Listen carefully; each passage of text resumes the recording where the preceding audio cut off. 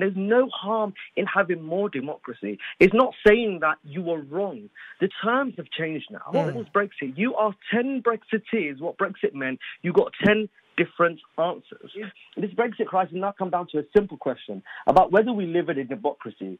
Can we let Boris Johnson and, and, and, and the, this government force through a no deal? And all we're saying is no one was talking about shortages of medicine in 2016. No one was talking about shortages of food in 2016 or having the army on the streets. The democratic outrage, you cannot force this through to the people without going back to them and saying, actually, is this what you want?